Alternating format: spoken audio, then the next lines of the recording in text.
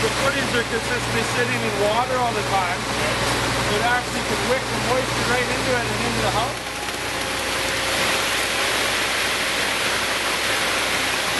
At this point, I'm very, very impressed.